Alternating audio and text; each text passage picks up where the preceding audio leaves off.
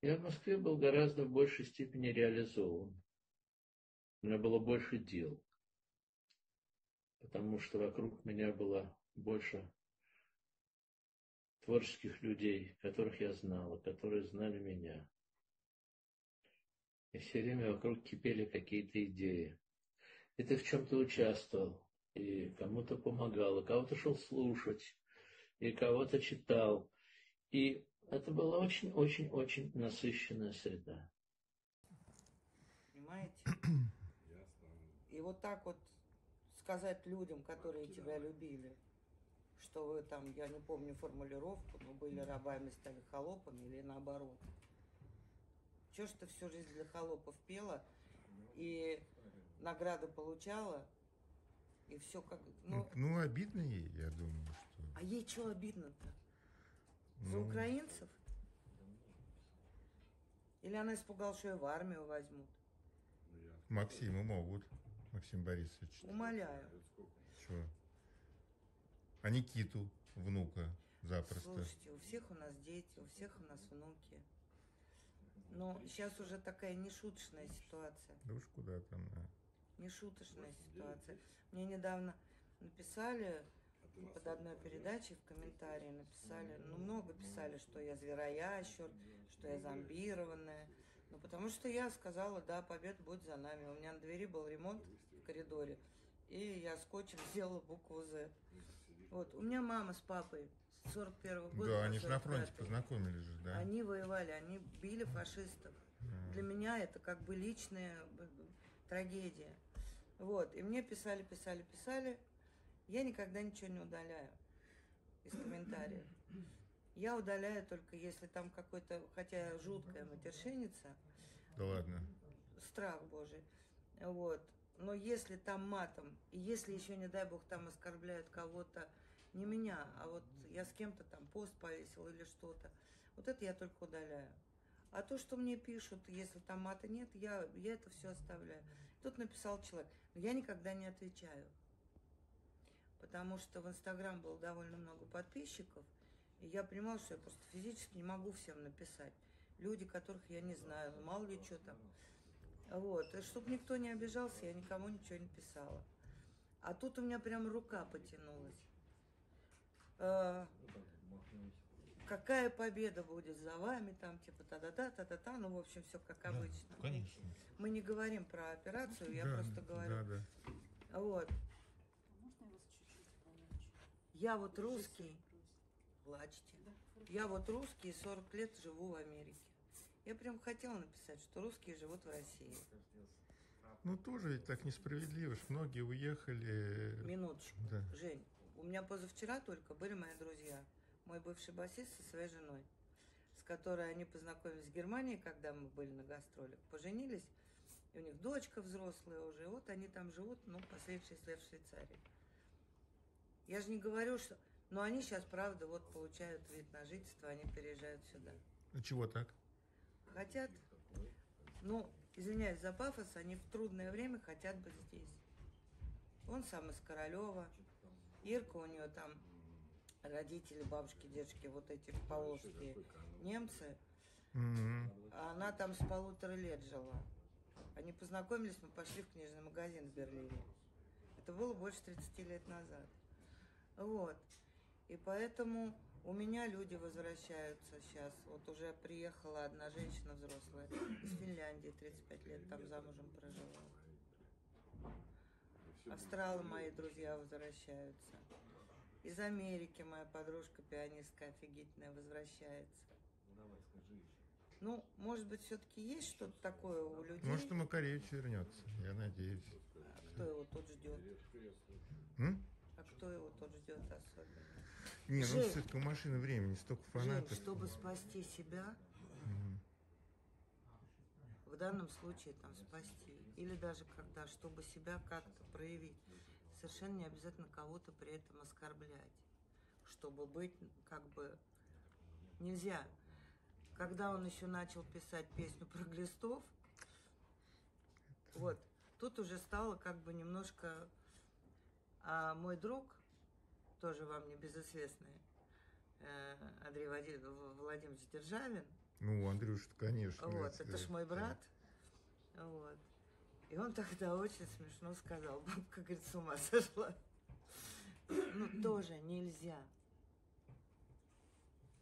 Я уверена, что очень многие люди, которые уехали по, как бы вот по причине там политической, своих убеждений, всего на свете, они уехали, устроились там, не устроились, это вообще не мое дело. Живут, но они говно не льют на, на Россию.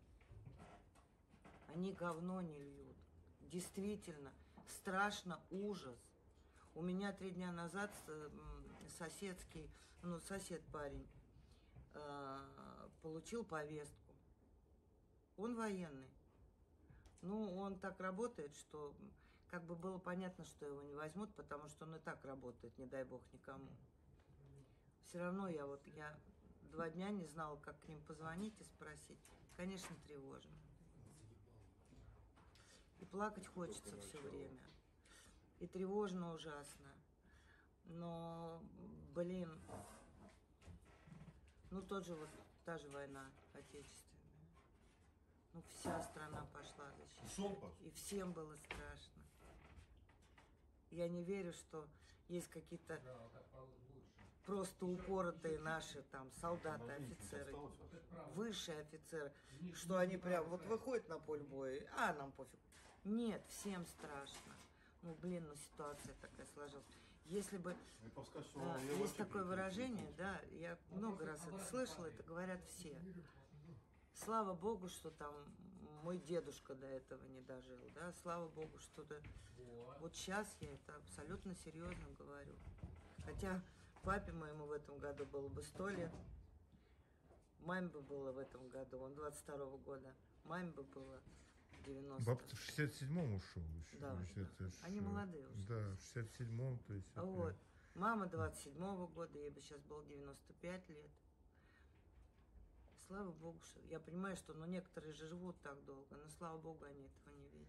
У меня отец фронтовик, он в 16 лет добровольцем ушел. У меня он мама. бы просто бы сейчас от этих вот новостей, я просто даже не понимаю. У меня вот мама 24, 27 -го года.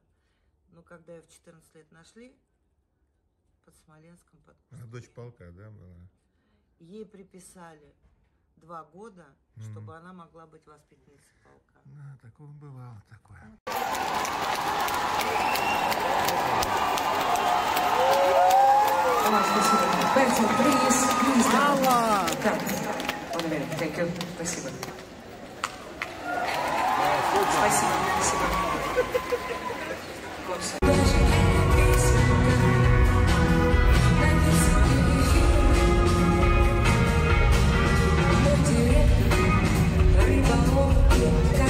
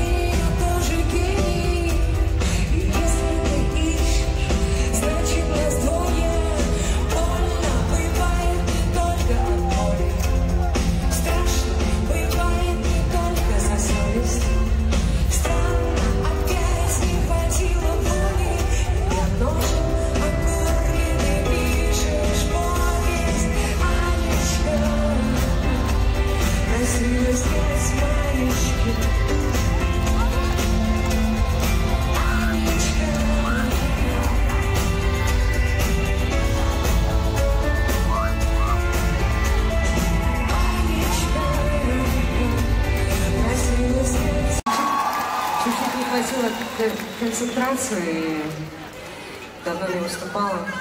Да. Да, прошу прощения. Прошу прощения, что мало общалась, но